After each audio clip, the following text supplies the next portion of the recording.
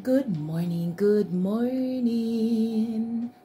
If you're in Jamaica, if you're a Jamaican, happy, happy, happy, happy independent. And welcome, welcome, welcome, welcome to the channel. Whether it's afternoon, whether it's morning, whether it's night, you come in contact with this video.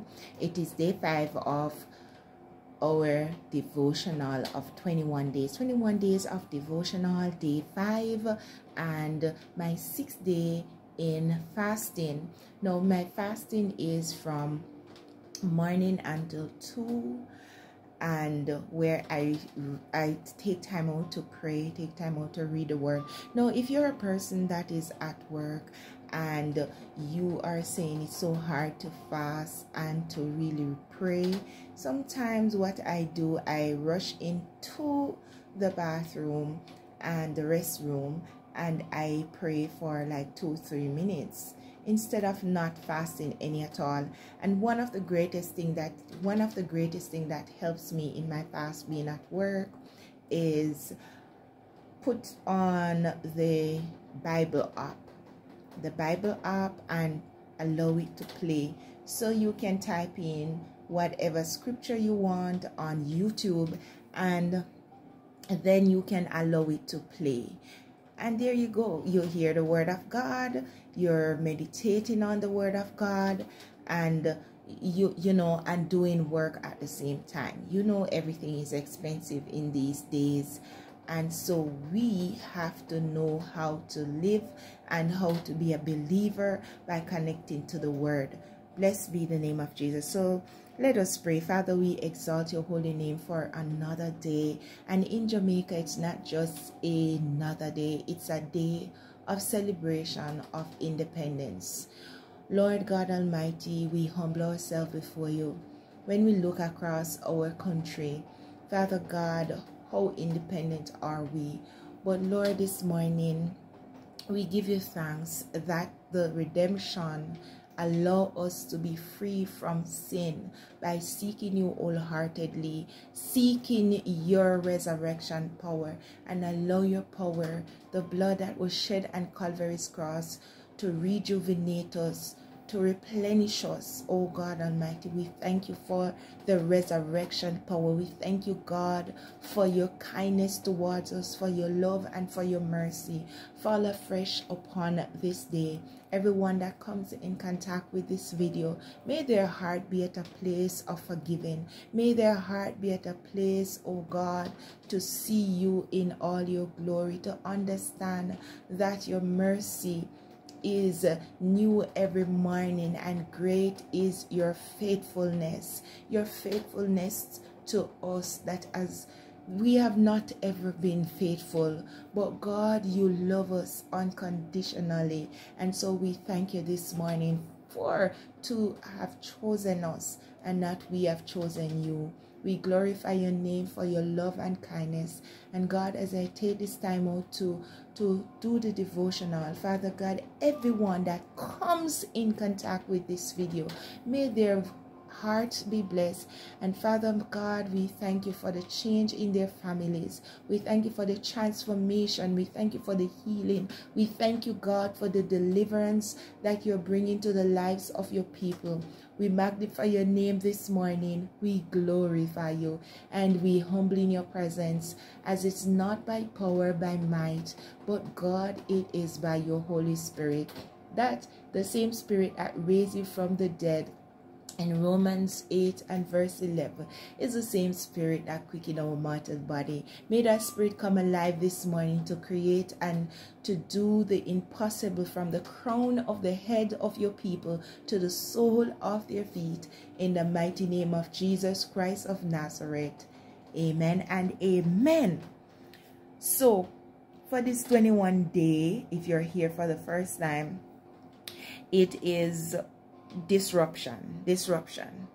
You know we, we we we face disruption from time to time whether it's someone disrupting our conversation whether it's someone disrupting our meal. When when i was small you know per, you know person that visits or even your family member will just say look over there and they take out your you know they take out your meat you know you feel really bad about that. You feel like something just come and just disrupt your entire meal that you're eating.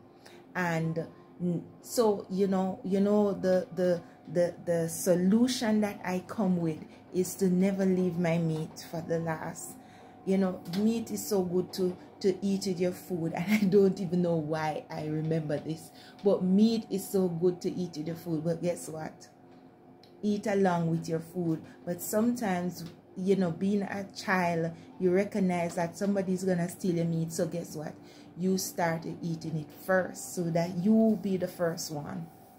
And that to me is somewhat disruption. So we have them in small portion we have them in large portion like nature come in and disrupt our our nicely comfort setting because some of us the roof gone the house gone you know we lose family member along the way. So this morning whatever it is let us join together and let us pray. That word is gonna pop up from time to time in the devotion because it is what we're focusing on. You know the word is what we use to overcome the these things to overcome allowing your heart to be at a place to receive to to, to just whatever comes your way. You learn how to be content. You you learn how to pray in the time of trouble and in the time of no trouble. Because a lot of time in the time of trouble we tend to not have the strength to pray. We tend to have not have to not have the strength to even stand up we're just sitting and looking so this morning, just know that whatever we practice, you know, it will become, it will become a part of us. And the scripture lesson is taken from St. Matthew 10 and verse 34 to 40 to 42. And it thus read, Think not that I am come to send peace on earth. I came, and this is Jesus speaking. You know, when you have your Bible and it has that red writing, we all grow up in Sunday school or in Sabbath school or whatever school you have grown up in. You know, I grew I was raised in Sunday school. So they would teach you that the red writing in the Bible, it's Jesus speaking, right? And he said, Think not that I am come to send peace on earth. I came not to send peace, but a sword. Now we all know what a sword is. And you see, that is clear right there.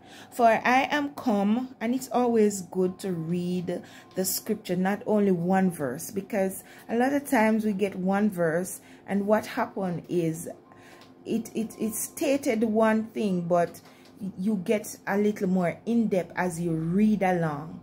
And I recognize that a lot of times we do that and we miss the other information that is within the scripture.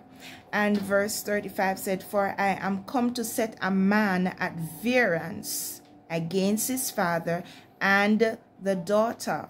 And variance is, according to the the Oxford English Dictionary, the amount by which something changes or is different from something else so you know that the difference of opinion is going to cause problem there.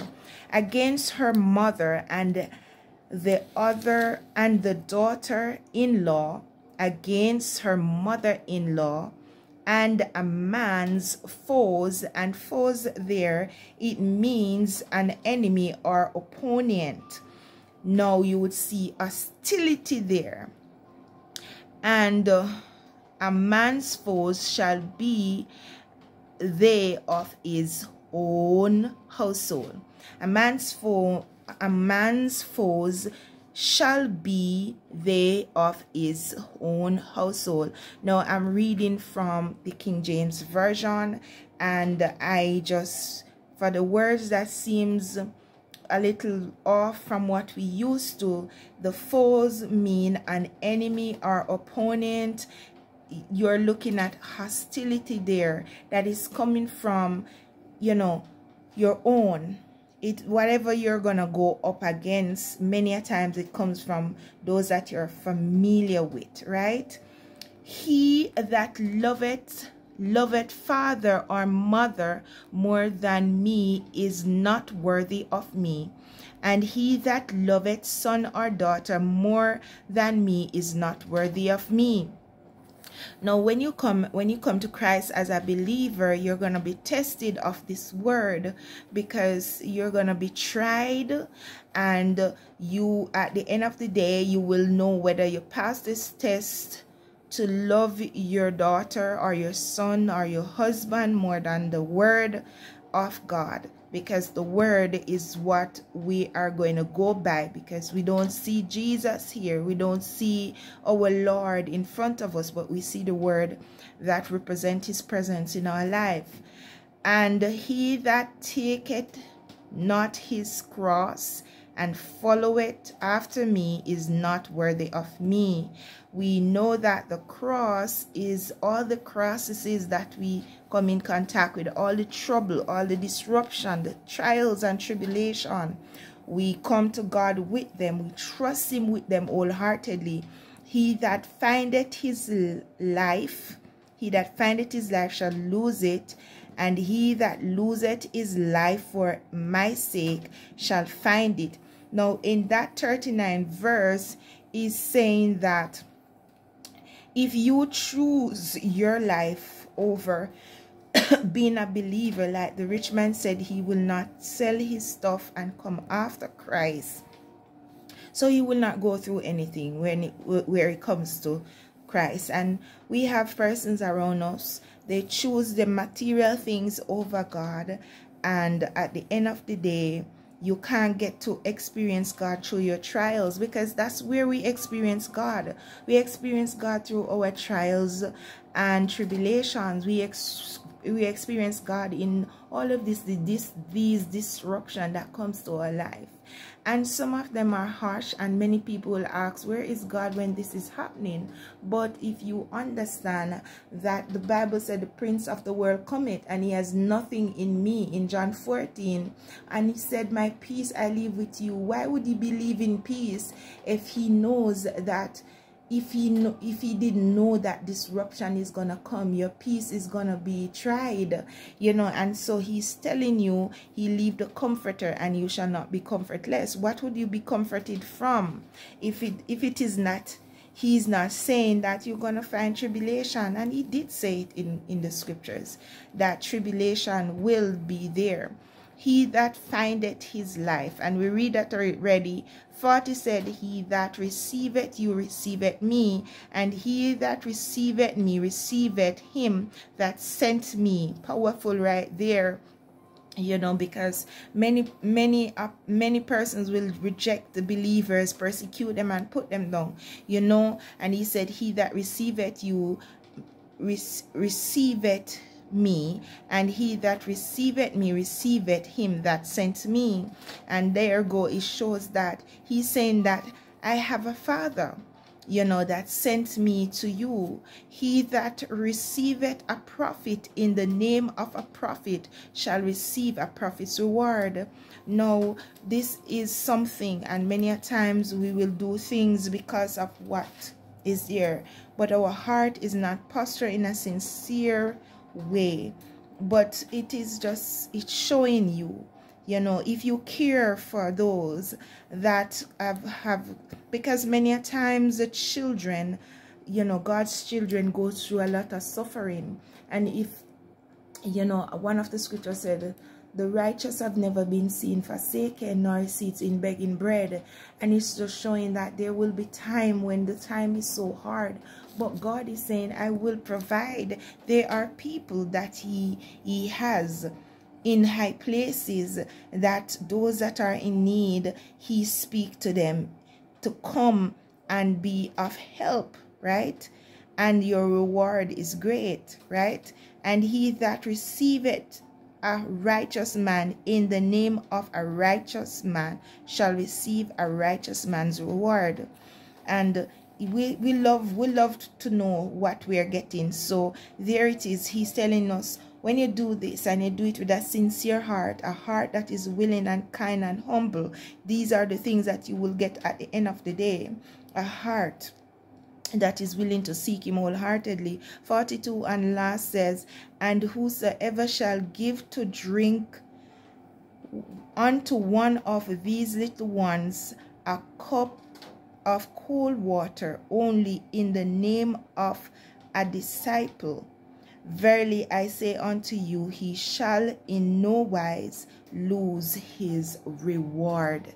And there you go, you see those instruction. We all love to read instruction. These are powerful ones to help us on life's journey as a believer. Being a believer is not about your strength it's about being it's about the strength of the lord so i want to repeat that uh, uh, uh, again you know because when i didn't have the knowledge you know i think that I would not be able to be a believer because I'm not ready. You know, being a believer, we will never be ready because it's not us that is doing it. The, the, the most of what we're doing is is answer the call because the Bible said no man can come to the Father unless he draws us. So it's just for us to answer the call. It's like someone coming to your door and knock, right?